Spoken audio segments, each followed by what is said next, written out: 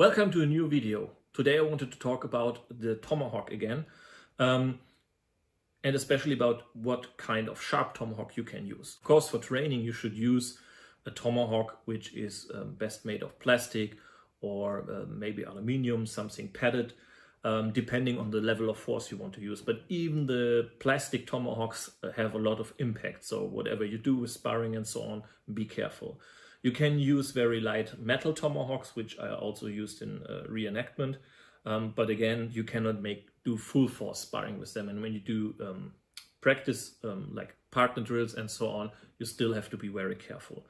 Um, if you want to do solo drills or just want to have a sharp tomahawk because of reasons um, or for some outdoor or bushcraft work or for wood uh, processing or just as wall hanger, home defense, zombie apocalypse, there are several options on the market.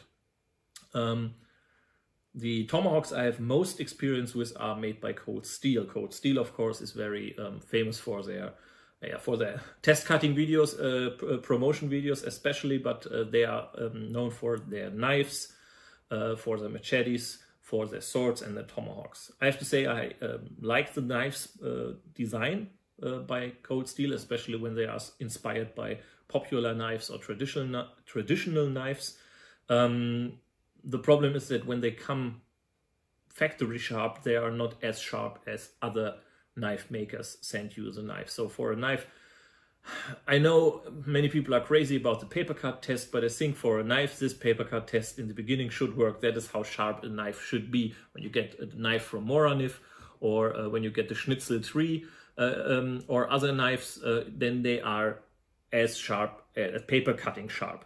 And Cold Steel, they have nice knife designs, but they are never that sharp. And especially when you think about their um, very macho um, test cutting videos, uh, how sharp the weapons are, uh, I have to say, yeah, then sharpen them when you send them out to the people. Um, again, they are sharp enough to do some things, they are sharp enough to carve wood, they are sharp enough to cut your sausage or your cheese.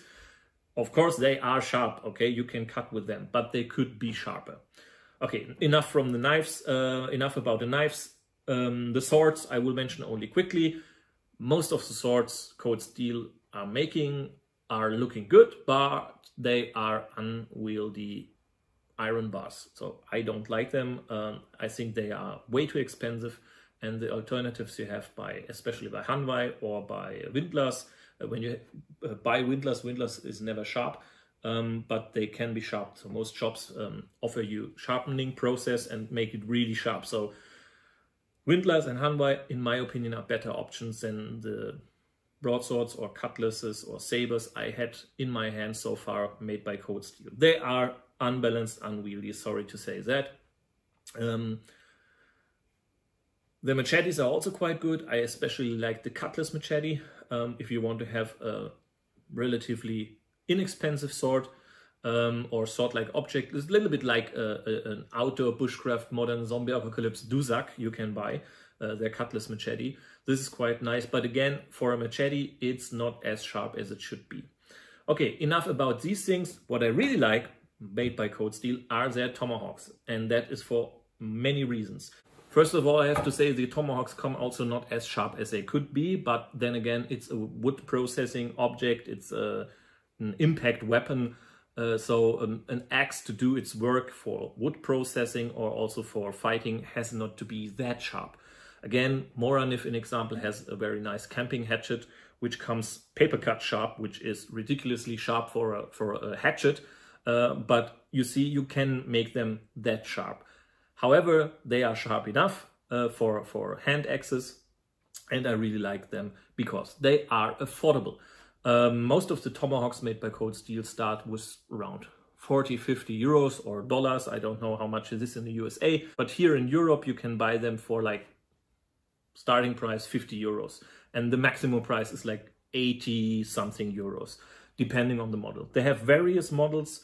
I don't uh, have them all, all in my hands but i know some and i have to say i really like them. Not all models are good. There's example this rifleman hawk which is overly big oversized overly heavy uh, don't know why they don't throw this out of their program especially because they have a very nice pipe head tomahawk which looks similar but is much better and lighter um, the ones I wanted to show to you First of all is my personal fighting tomahawk. This is a spike hawk. So obviously it has a spike. Um, this is uh, from the style you can could say it is more like a, a boarding hatchet or small boarding axe. So boarding axes normally were quite big, so you could not use them with one hand. But I also saw in various maritime or naval museums, like in, in Malta or also in Hamburg, I saw um, like hand hatches or smaller hatches with a spike.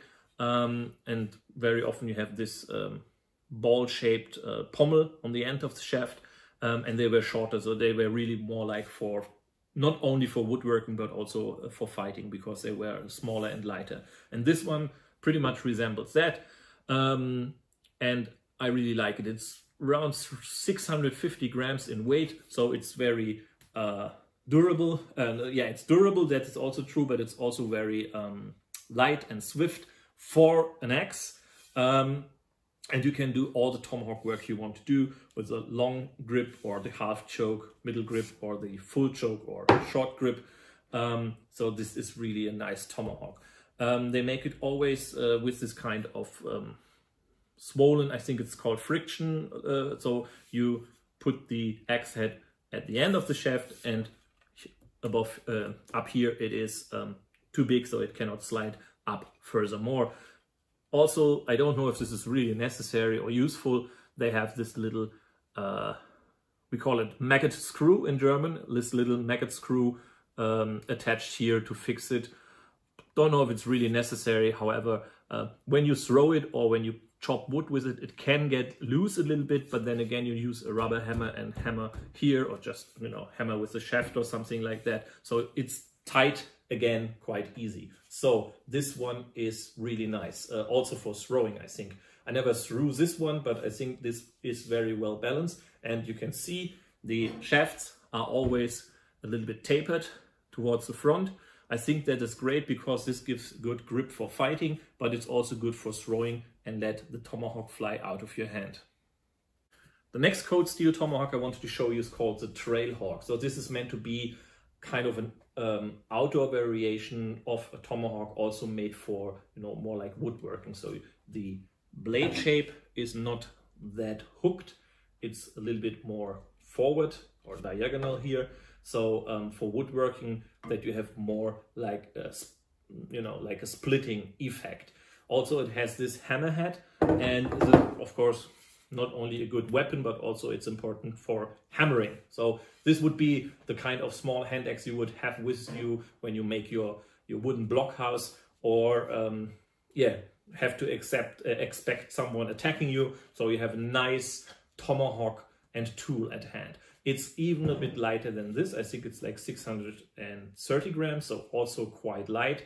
Of course, when you have a hammerhead or a spike, it always adds a little bit of weight, but not forward because it's on the back. So this is um, really a nice light and swift tomahawk for fighting and also good for outdoor working. So these are two very typical cold steel tomahawks. I also got the Frontier Hawk. I don't have it here, um, which I'm which is even lighter than this one and has a little bit more like this curved hook here, but has no spike or hammer and it's very light. I think 610 grams or something like that, so even a bit lighter than these two. And this I made blunt for training purposes. Of course, not for free or full contact sparring, but for, um, you know, having the real thing for training and for display and showing and, uh, you know, teaching fighting with the tomahawk. So these are two very cool and typical tomahawks made by Cold Steel. I can highly recommend those these two. Forgot to add the shaft of the Tomahawk standard shaft is made of hickory wood. They come quite of a light color and plain. Um, sometimes they feel a little bit like covered with something, but I think they are not. Um, so uh, you can sandpaper them a little bit, you can oil them, you can beeswax them, and you can also make tons of modifications to let them look more historical. Um, what also works, um, Condor uh, from Knife Maker from Ecuador, they also offer tomahawks. Um, they are ex more expensive than the one by Cold Steel. Um, from the weight, they are mostly uh, higher or, or, a little bit heavier than the Cold Steel tomahawks, and the handles are a little bit shorter. Um, however, they're also quite nice and they offer a so-called, I think, Valhalla Viking battle axe, so a 70 centimeter long-handled, one-handed axe for fighting as a Viking. Um, and these you can put into that if you want to have a longer handle tomahawk or if you say, okay, this is long, but I want to have a little bit longer, so I need something longer and can shorten it. So this is also quite a nice idea, um, making a longer handle into that. Now, the third hatchet or tomahawk, it's not really a tomahawk, it's a hatchet, is the standard throwing axe by Cold Steel. I think the design of the blade, uh, the axe head is very much um, or very close to the um, Chinese axe gang or hatchet, uh, um, axe gang hatchet um, Cold Steel offers, but the um, handle is a little bit shorter. According to Cold Steel, these uh, are um, also yeah fitting most of the regulations of axe throwing contests. I don't know about that.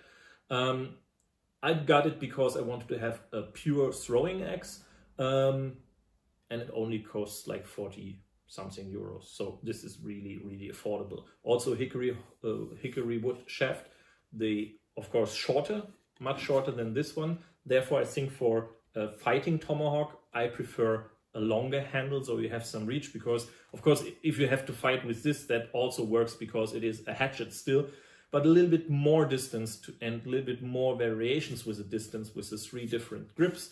I think um, this length over your form, like 55, 60 centimeters in total, maybe even 70, is better than this short one for fighting. But if you have to, you can of course use that. But keep in mind, maybe you face with your tomahawk someone armed with a saber or even with a musket and bayonet. However, this is still a good hatchet the weight of the axe head is already 600 grams, though this is much top heavier than these. But of course, that is meant for throwing. Um, so you have, I think, a very good turn. I have to take this to the axe throwing range and try it out one time. Um, however, um, I believe Cold Steel when they say it's a good throwing axe, and, and and they know they know their axe throwing, though they are really good axe throwers at, at Cold Steel. Um, so um, can you use this as a tomahawk trainer? Mm, yes, you can. As I said, you have a, a shorter shaft. You could reshaft this yourself. This is, by the way, traditionally or standard, uh, like made with um, this metal uh, ring inside and, and the splint. Uh, so this is typical like a wood, like a, a woodworking axe you can buy in every tool shop. So I would say this is also because it is short it has like 600 grams um, axe head, so maybe in total it's like 700, 750 grams maybe. I think it's also a very good camp axe because it's light, it's short, you can um, take this with you quite easy. Uh, so I think not only for throwing, but also as a fighting axe for bushcrafting, outdoor work, even a little bit of woodworking, I think this is not too bad as a hatchet. One thing that is also not so good with the Cold Steel Tomahawks, they offer sheaths. Um, I don't know if, I think they have some models with leather sheaths and there are also some Etsy shops offering handmade leather sheaths for the Cold Steel, but regularly come with these, I think it's Cordura or what is it is called. Um, and they have for the different models, they have different ones. But as you can see, this is a little bit too tight. And when you then close the button, you can manage it, but you know that that's that's not not clean work. That's a little bit sloppy okay? Not that problematic because yeah. The only thing is they sell them separately and the price is quite high when you have to pay for this crappy thing 12 euros or 15 euros extra. That is a little bit mm, okay uh, what you can do though is uh, CRKT, which is also a hatchet maker, offers different, um, not too expensive leather sheets, which you can also attach on your belt. And uh, you have to check out for the model because, of course, they are made for their tomahawks. However, if you can see, they have uh, sheaths for their own spike hawk, and this sheath fits perfectly also around the cold steel tomahawk. So you have a very nice, not too expensive, much more beautiful sheath. Cold Steel has kind of a leather cover here so that you don't poke yourself with that. Okay, that, mm, yeah, okay, good. you can also put something on it. So then this is also quite secure. But yes, of course, this stays open with this. But when you carry it on your belt, it will not endanger you much. Um, so I don't think that's such a big issue. Such a big issue. Just a little tip if you don't want to buy the cold steel ones because they mostly have this um, kind of material. You want to have something made out of leather. CRKT, they have also tomahawks and the leather sheath also fits. At least I have the experience that it fits with the uh, Spike Hawk made by Cold Steel. This one here is not cold steel, it's a cold steel uh, wooden shaft. I used this, um, this is a standard tool shop uh, axe head. It's a little bit flatter than compared to this heavier one, um, a little bit more flattened out, I think. So this is also a standard, I think, like, uh, yeah, 600 or 5, look, uh, yeah, 600 grams of axe head weight. Uh, mostly you get typical uh, tool shop um, hatchets, you mostly get um, 500 or 600 grams as the lightest, though they tend to be a little bit uh, on the heavier side when you want to use them as a fighting uh, hatchet, but they work. You can take kind of a regular tool shop uh, axe head and rehandle it because most of the time they have these modern I don't know if it's really modern, but you know what I mean, these type of handles. And uh, if you want to have more traditional tomahawk handle, you can get a spare handle from Cold Steel and, you know, reshaft it yourself. What I did was to um, get the, the uh, friction up here because it's swollen. So I got it over here, it slided inside. I had to glue it a little bit and also I put in this metal ring so the um, yeah the the wood goes to the sides, it gets bigger, and now it's really tight. Uh, I would say I already chopped a little bit of wood with that. I, I threw this axe already, and so I think it's quite safe. When you do something with reshafting yourself, please take care to follow the rules and do it right so that not your axe head is flying around when you throw it or the, the shaft is going into, you know, thousands of pieces. So please be careful and do it the right way. There are way, there are a lot of um, instructionals out there how you can reshaft your axe. However, this is also an option as a sharp training tomahawk, not as nice as these the ones by um, Cold Steel, a little bit heavier, but still maybe you want to have something that you can use for processing wood, still resembles a little bit of uh, historical tomahawk or hatchet, um, and uh, which is robust and not too um, not too expensive. As I said, you can have really easy um, a tomahawk for not a lot of money because these are kind of affordable by cold steel. Uh, and if you buy a good axe in a tool store, you can, you know, you can pay like 50, 60 or even more euros for a good hatchet, but you can also get cheaper ones. So take care of what you what you what you take. Um, one word about the tool shop hatchets again. This one is too heavy. This has one kilo or thousand grams of uh, axe head. Um, so this is good as a training tool for creating power, for training your arms and wrist and everything but really as a fighting weapon. Of course, if you have to, you can use it. Uh, grip it maybe a little bit shorter, but that is my, um, you know, firewood processing hatchet with a heavier head. Um, I would not recommend such one as a tomahawk trainer, but it has its place in this kind of trainer, um, you know, kind of trainer compilation. So, tomahawks really cool really oh this is by the way annoying. The the you see here the rest of the um of the um uh what it is you know price uh, label or what whatever. Uh, and and these are really sticky. You you cannot get them off clean. So i have to clean these. I know i'm lazy. I did not do it yet but you have to clean these. This is also a little bit annoying there are things that are more uh, problematic than this. So you can clean this. This is no problem I think back then, the Tomahawks, or a couple of years ago, I already had the Trailhawk back then. Um, and they had, I think, also this black coating here. this looks a little bit different. Some people say they don't like it and they, you know, um, just rub it off. So with, with you know, make it um, shiny. Uh, I personally like it, but you can do that also with these kind of cold steel tomahawks. Okay, so a little bit about tomahawks. Hope you enjoyed this video. Thanks for supporting me on Patreon. Thanks for, for uh, supporting me on this channel and on Facebook, also on Instagram. All important links are down below in the video description. And um, yeah, take care and I see you in the next video.